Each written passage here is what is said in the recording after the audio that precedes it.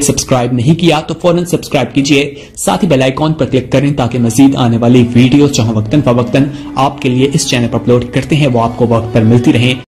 کہ میں اس سے امید رکھتا ہوں، میری امید پورا نہیں اترتا۔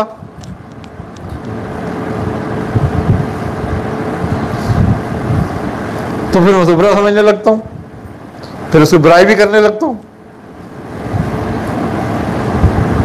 تو خلق سے لا تعلقی یہ ہے کہ تو خلق سے امید نہ رکھ، خلق سے بے امید ہو جائے اور اللہ سے تعلق ہی یہ ہے کہ تو اللہ سے امید رکھ۔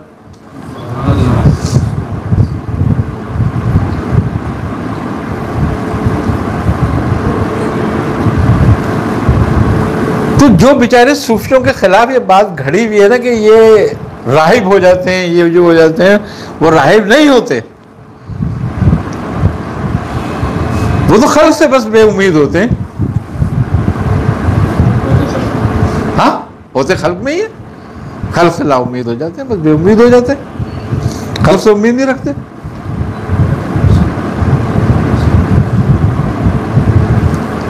اور حدیث بھی ہمیں درس دیتی ہے اس بات کا۔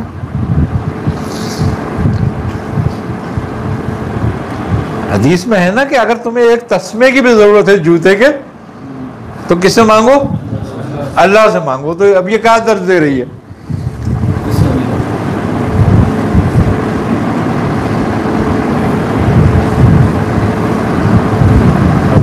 اب اس کے اصل معنی یہی ہیں کہ تو خلق سے بے امید ہو جا۔ کہ خلق تجھے ایک تسمہ بھی نہیں دے سکتی۔ اور تجھے تو اس سے عزت کا، شہرت کا، دولت کا طلبگار ہے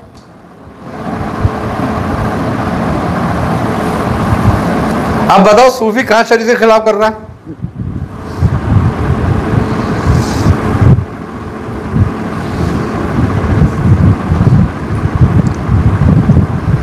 سمجھنے والی بات ہے۔ اب اصل سمجھنا ہے اس معبود امکنائی کا جس کے لیے کہا ہے کہ لا الہ۔ کہ کہے نہیں کوئی معبود۔ اللہ۔ سوائے اللہ کے۔ تو اب یہ حدیث کس طرف جا رہی ہے؟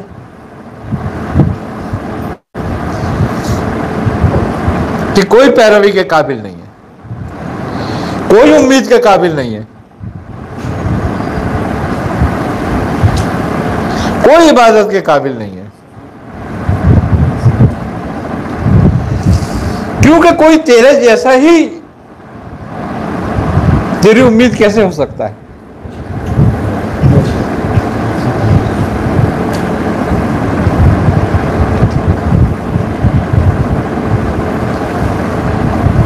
ایک محتاج محتاج کو کیا دے گا؟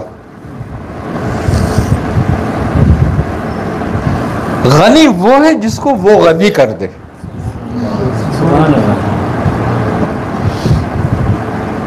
جیسا کہ اس نے حکم دیا، آپ نبی کریم صلی اللہ علیہ وسلم فرماتے ہیں کہ اللہ موتی ہے، دینے والا ہے، میں قاسم ہوں، بانٹنے والا ہوں۔ اللہ نے ان کو کرا نا؟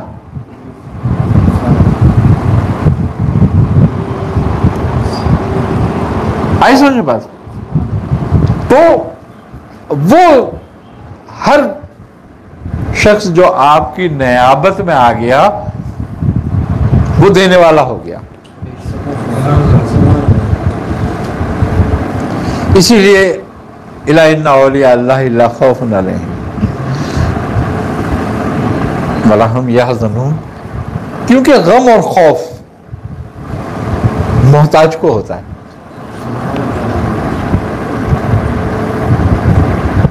غنی کو نہیں ہوتا۔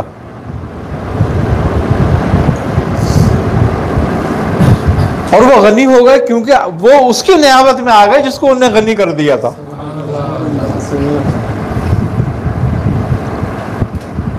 اب تمہیں دنیا میں خوف کس چیز کا ہے؟ رزق کا اور موت کا؟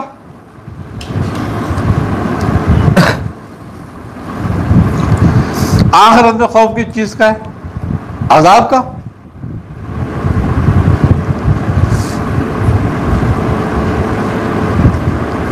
وہاں سے عذاب کا خوف ختم کر دیا، یہاں موت اور رزق کا خوف ختم کر دیا۔ لیکن وہ کب ہوا ختم؟ جب تمہارا تعلق غنی سے جڑ گیا۔ جب تمہاری امید صاحب اختیار سے ہو گئی اور وہ اللہ اور اس کے رسول صلی اللہ علیہ وسلم کی ذات ہے۔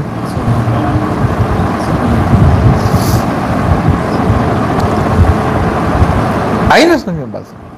تو بات یہ ہے کہ جو کچھ ہم کرتے ہیں اصل دیکھنے والی بات یہ ہے کہ ہم کام تو نیک ہی کر رہے ہیں اور اچھا ہی کر رہے ہیں لیکن گویا کر کس چیز کی طلب میں رہے ہیں؟ اصل حاصل یہ ہے ان عمل اعمال بالنیات۔ عمل کا دار و مدار نیتوں پر ہوتا ہے۔ اور اس لیے حدیث ہے کہ مومن کی نیت اس کے عمل سے بہتر ہے۔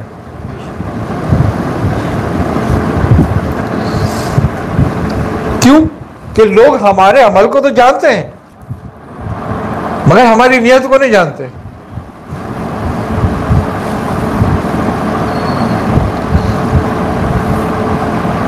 اور اللہ نے فیصلہ ہماری نیت پہ کرنا ہے، ہمارے عمل پہ نہیں۔ کیونکہ وہ نیت کو جانتا ہے۔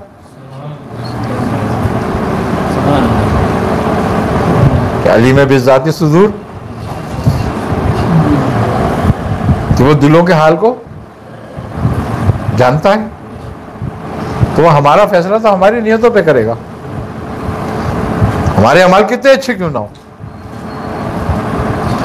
تو بظاہر اعمال بہت اچھے ہوتے ہیں۔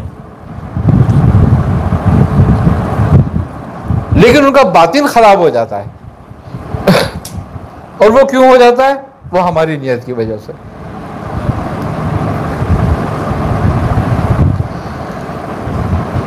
ہم عبادت کرتے ہیں، اگر اس لیے کرتے ہیں کہ لوگ ہمیں عابد سمجھیں۔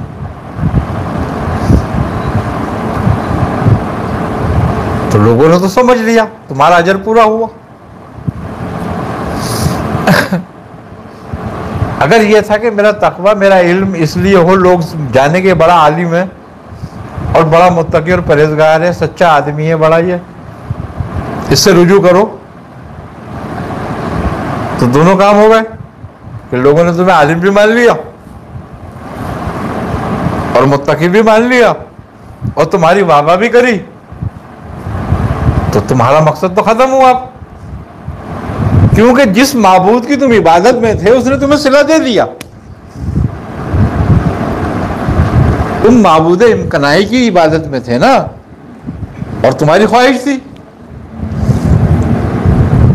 تو وہ تمہیں اس کا صلح مل گیا۔ اب صلح ایک ہی جگہ ملے گا۔ یہاں لے لو یا وہاں لے لو۔ اگر یہاں کے لیے کر رہے ہو تو یہاں ملے گا اور وہاں کے لیے کر رہے ہو تو وہاں ملے گا۔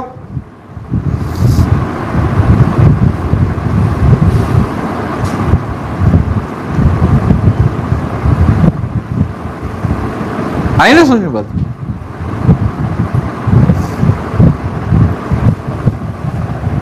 تصور اور طریقہ شریعت سو فیصد عقیدہ ہے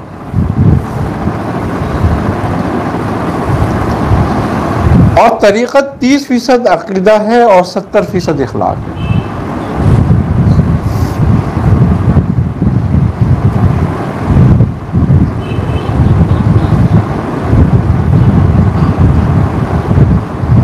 عقیدے کا فائدہ انفرادی ہے، اخلاق کا فائدہ اجتماعی ہے۔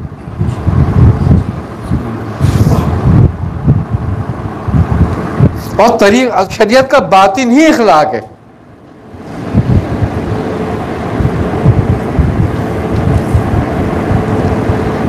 اور وہ طریقہ تھا اخلاق یہ نہیں ہے۔ کہ تو خلق کے ساتھ مخلص ہے۔ خالق کے ساتھ مخلص ہے۔ اخلاص یہ ہے کہ تو خلق کے ساتھ مخلص ہو جا۔ کیونکہ خالد کے ساتھ تیرا کوئی اخلاص نہیں ہے۔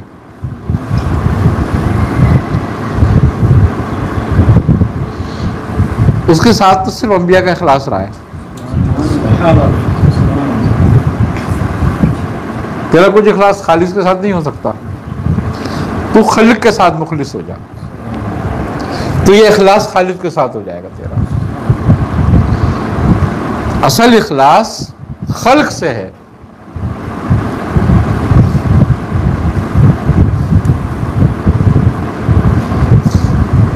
تو خالق تو تیرے دل کی حالت کو جانتا ہے۔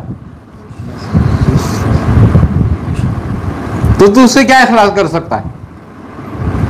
لیکن جو تیرے دل کی حالت کو نہیں جانتے، اخلاص ان کے ساتھ ہے تیرا۔ اب تو اخلاص اس کے ساتھ اس لیے کر رہا ہے کہ تیرا لالچ خلق کے ساتھ ہے۔ تو وہ جانتا ہے۔ تو وہ خلق سے تیرا لالچ برا کرا دے گا۔ لہٰذا تیرے اخلاص کی قیمت ادا ہو گئی۔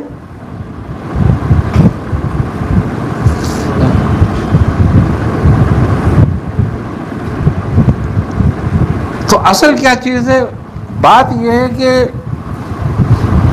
عقیدے کے ساتھ اخلاق لازمی جز ہے۔ عبادت کے ساتھ اخلاق کا بڑا درجہ ہے۔ حدیث ہے۔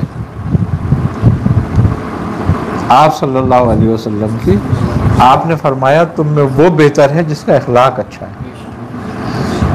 یہ نہیں فرمایا کہ تم میں وہ بہتر ہے جو زیادہ روزے رکھتا ہے یا زیادہ نمازیں پڑھتا ہے۔ وہ بہتر ہے جس کا اخلاق اچھا ہے۔ خوبی کی بات یہ ہے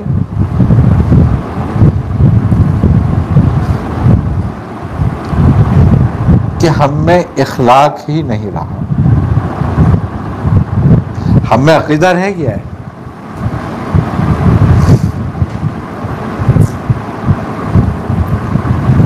ہم میں عبادت رہ گئی ہے۔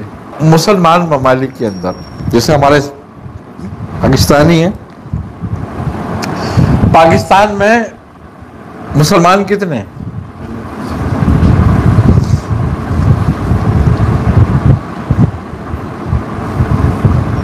کروڑوں ہے نا۔ خوبی کی بات یہ ہے کہ یہاں مسلمان ہیں، اسلام نہیں ہے۔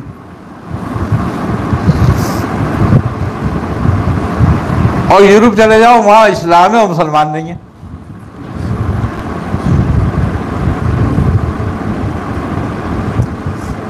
مسلمان خالی مسجد بنانے سے بنتا ہے یا مسلمان خالی مسجد جانے سے بنتا ہے مسلمان سچائی سے ایمانداری سے امانت سے دیانت سے بنتا ہے نماز بھی پڑھتا ہوں، حج بھی رکھتا ہوں، روزے بھی رکھتا ہوں، حج بھی کر لیتا ہوں، عمرے بھی خوب کرتا ہوں اور بے ایمان بھی دبا کے ہوں بتاؤ کیا ہے آج؟ آج نکلی دودھ بک رہا ہے؟ نکلی گھی تیل بک رہے ہیں نکلی دوائیں بک رہی ہیں؟ ملاوٹ کا سامان مل رہا ہے؟ اب یورپ سے تو لے لو جا کے سب نکلی۔ تو مقصد یہ ہے کہ اسلام نہیں ہے یا مسلمان ہے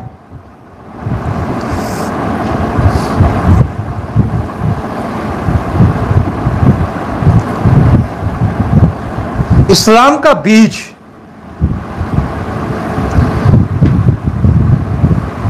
امانت اور صداقت ہیں۔ اب جب بیج ہی نہیں ہوگا تو پودا کہاں سے ہوگا؟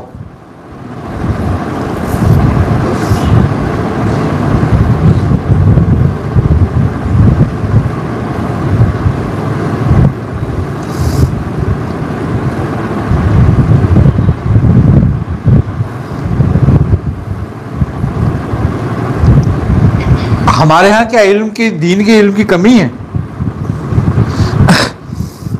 جس آدمی سے پوچھ لو، آدھا مفتی ہے۔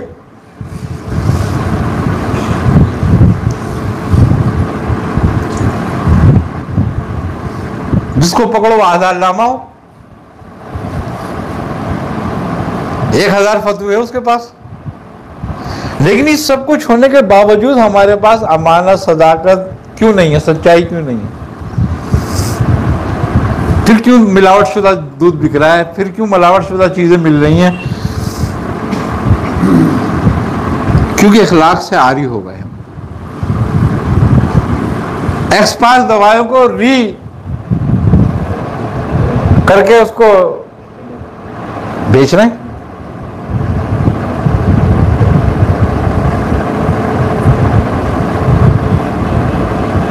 کون بیچ رہا ہے؟ یہ سارے نمازی پرہیزگار۔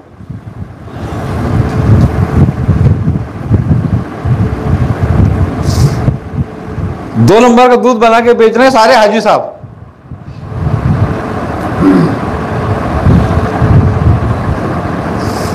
ایسے انجیکشن گائے بھینسوں کو لگا رہے ہیں دودھ بڑھانے کے لیے کہ جو کینسر پیدا کر رہے ہیں لوگوں میں۔ جو بیماریاں پیدا کر رہے ہیں، یہ سارے ہم ہمارے حاجی اور نمازی پانچ وقت کے وہ۔ مسجدوں میں چندے بھی دیتے ہیں، مسجدیں بھی بنواتے ہیں۔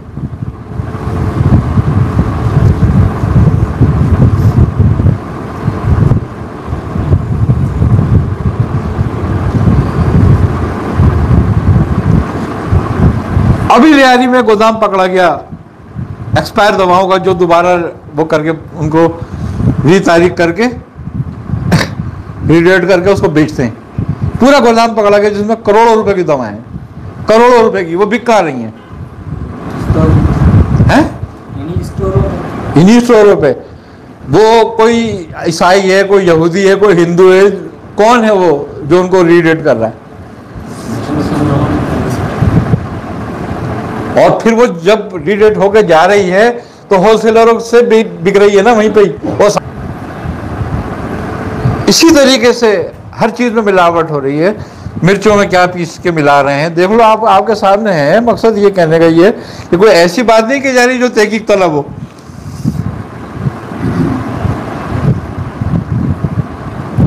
کوئی یہاں ہندو عیسائی ایسا کاروبار نہیں کر رہا ہے۔ سارے شراب خانوں کے پرمٹ ہندو عیسائیوں کے نام پر بنتے ہیں، بیچتے مسلمان ہیں، پیتے مسلمان ہیں۔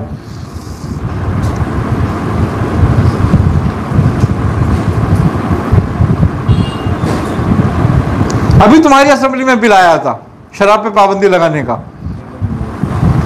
تو آدھے سے زیادہ ارکان اسمبلی نے اس کی مخالفت کری تھی۔ ریجیکٹ کر دیا اس کو۔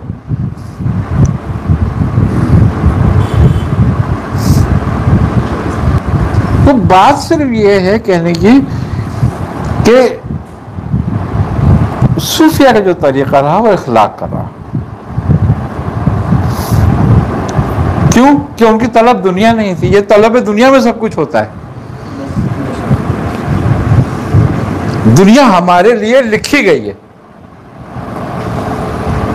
وہ ہمیں ہمارے نصیب کے مطابق ہمیں مل رہی ہے لیکن ہم اس کے لیے ذرائع اچھے اور وہ استعمال کریں جس کا ہمیں حکم شریعت نے دیا، جس کا اللہ نے دیا۔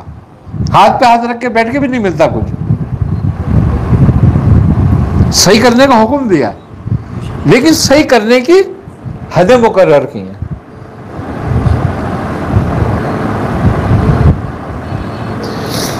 تو آج وہ حج میرے قابل قبول ہے۔ ایک دوڑ لگی پڑی ہوئی ہمارے حج کرنے کی اور عمرے کرنے کی۔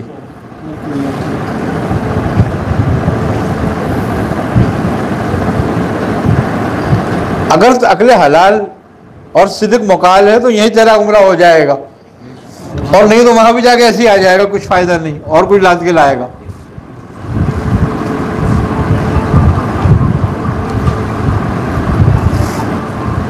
سچے آدمی کی زندگی نہیں ہے وہ بیچارہ ڈبل امتحان میں۔ ایک تو سچ بولے یہ امتحان اس کے لیے۔ اور پھر سچ سننا کوئی نہیں چاہتا۔ یہ امتحان اس کے لیے۔ تو مقصد کہنے کا یہ ہے کہ جو بھی تم علم سیکھتے ہو، جو بھی تم علم حاصل کرتے ہو، اگر اس کا مقصد دنیا ہے تو پھر سلا جہنم ہے۔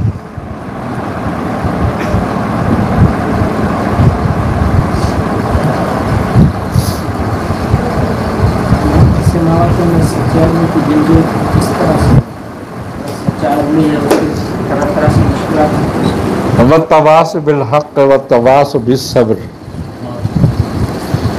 کلیہ بیان کیا ہے قرآن کیوں؟ کہ حق کے ساتھ صبر کا ذکر کیوں ہے؟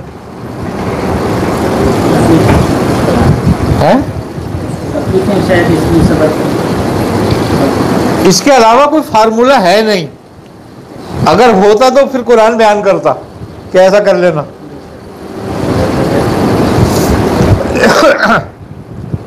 وہ تو اپنے محبوب کو بھی صبر کی تلقین کر رہا ہے کہ ان کی باتوں پہ صبر کرو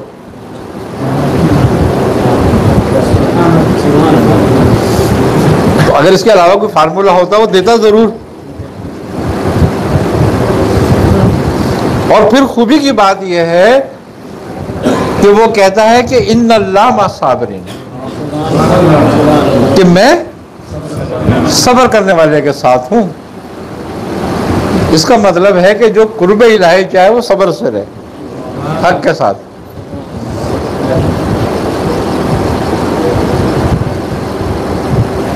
نہ وہ مولوی کے ساتھ ہے، نہ وہ متقی کے ساتھ ہے، نہ وہ عابد کے ساتھ ہے، نہ وہ زاہد کے ساتھ ہے، نہ وہ کسی علامہ کے ساتھ ہے، مگر ہے تو صبر کرنے والے کے ساتھ۔ اور اس صبر کرنے والے کے ساتھ جو حق پہ صبر کر رہا ہوں جو حق کے ساتھ صبر کر رہا ہوں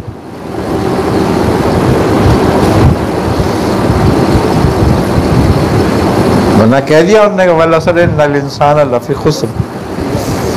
کہ اے نبی، آپ کے زمانے کی قسم ہے۔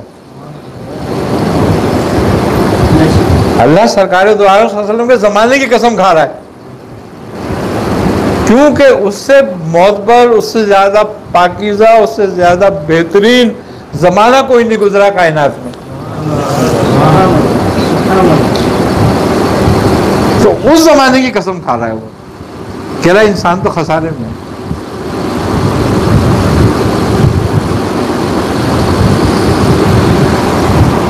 جنہوں نے نیک عمل کیے اب نیک عمل کو ہم کیا سمجھتے ہیں؟ کہ نیک عمل کیا ہے؟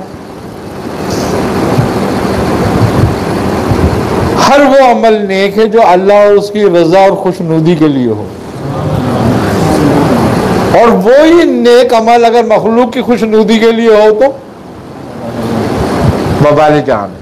ان پہ نیک عمل نہیں ہے۔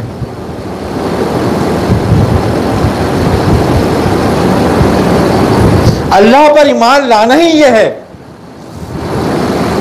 کہ تو جو عمل کر اس کے لیے کر۔ اور نیکی عمل ہوا ہے جو اس کے لیے کیا جاتا ہے۔ اگر تو روٹی اللہ کے لیے کھلا رہا ہے تو یہ نیک عمل ہے اور اگر یہی روٹی تو لوگوں کو کھلا رہا ہے، لیکن یہ دیکھیں گے لوگ دیکھیں گے بھئی ہاں یار یہ وہ کھانا کھلاتا ہے۔ تو اس کی نیکی یہیں ختم ہو گئی۔ لوگوں نے دیکھ لیا اور واہ واہ کر لی، اس کا سلا ہو گیا۔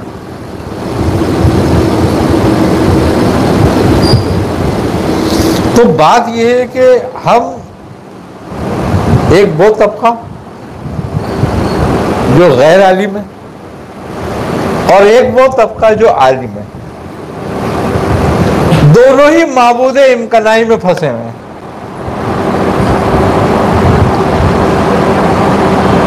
معبود حقیقی کی طرف رجوع ہی نہیں کرتے۔ تو جب تک ایک مفہوم پورا نہیں ہو، لا الہ کا، تو الا اللہ کیسے ہو جائے گا؟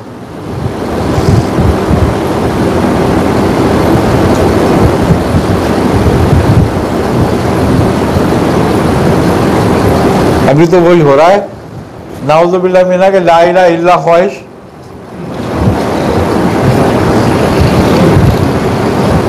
کہ نہیں کوئی معبود ہے مگر میری خواہش ہے کہ کوئی ہو یعنی کہ میں ہی ہوں چاہے بھلے۔ تو بات یہ ہے کہ ہم غیر ارادی اور غیر علمی طور پر ہی اپنی خواہشوں کے عبد ہو چکے ہیں۔ اخلاق یہی ہے کہ تو اپنی خواہش سے باہر آ۔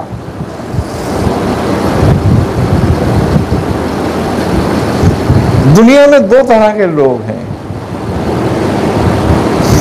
ایک وہ ہیں جو اپنی خواہش پر جیتے ہیں، اور ایک وہ ہیں جو اپنے مقصد پر جیتے ہیں۔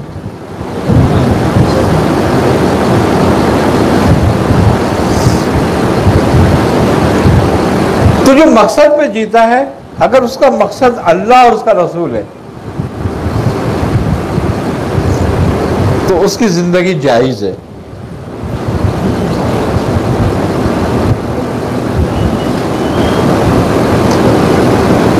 اور اگر اپنی خواہش پہ جی رہا ہے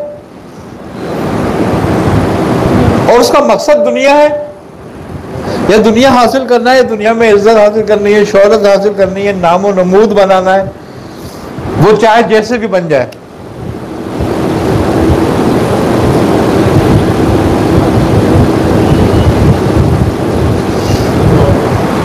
تو اس کے ارادے سے لے کے اس کی تکمیل تک سب حرام ہے۔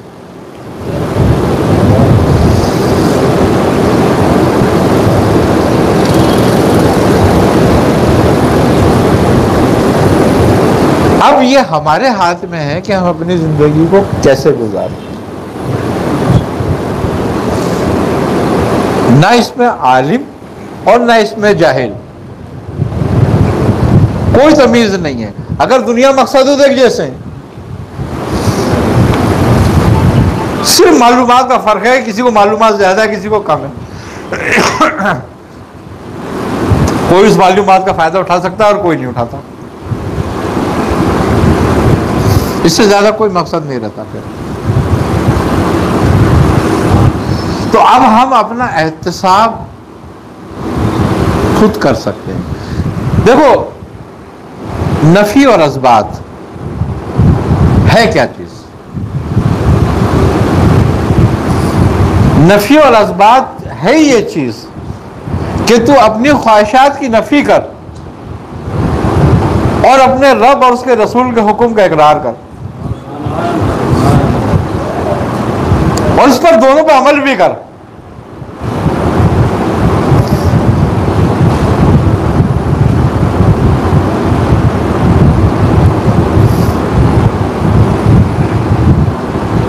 آئی نا سمجھ بات۔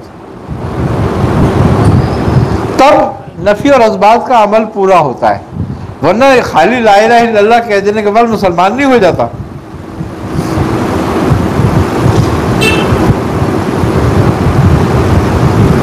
تم لا الہ الا اللہ محمد رسول اللہ پڑھتے رہو۔ شرط اقرار باللسان ہی، تصدیق بالقلب کی بھی تو ہے نا۔ اور تصدیق بالقلب تیرے عمل سے ظاہر ہوگا، تیری زبان سے نہیں۔